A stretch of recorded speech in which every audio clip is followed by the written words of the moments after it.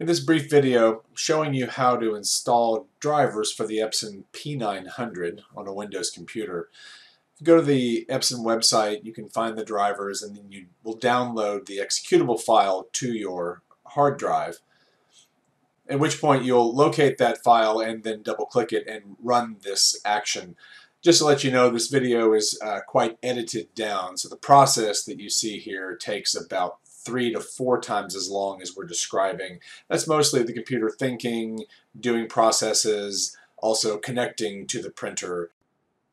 You'll click Install to begin the process, and you can either accept or decline being part of Epson's customer research program. And when the drivers and the user's guide have finished installing, then you'll turn your printer on and click Next the computer will begin searching for your printer.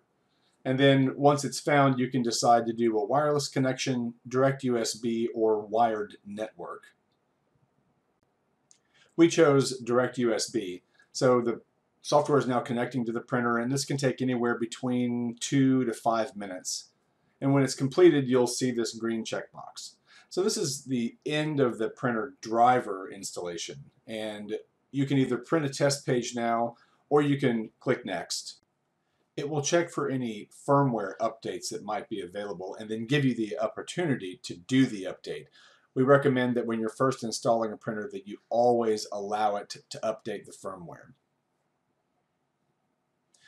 The next part is the firmware updater software will launch. And when you click start, it goes out to the Epson servers and looks for the latest firmware version and then we'll download it and then it pushes that firmware out to the printer.